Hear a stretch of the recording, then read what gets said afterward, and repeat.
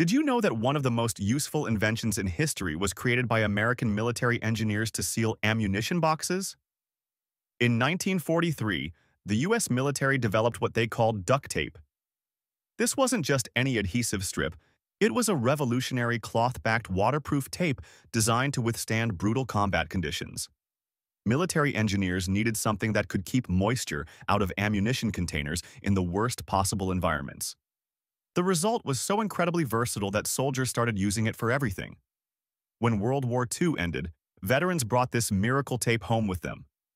Suddenly, duck tape became duct tape and transformed into America's ultimate household fix-it solution. But here's the most amazing part.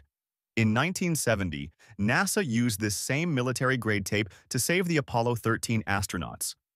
They improvised life-saving air filters using duct tape when disaster struck in space.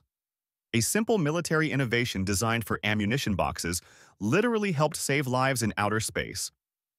American military engineering continues benefiting the entire world decades later.